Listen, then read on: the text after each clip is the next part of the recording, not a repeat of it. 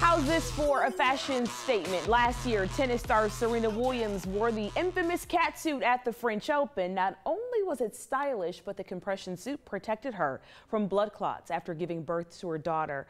Later, the tournament banned the suit, saying players must respect the game and the place. So this year, Serena came back with this a zebra print outfit with a removable cape. On it, the words Mother, Champion, Queen, Goddess, all in French.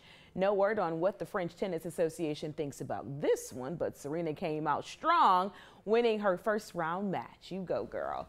And you can guess in case you missed it, Twitter is on fire about Serena tonight. Now, from a story about one fierce lady to another, Ron.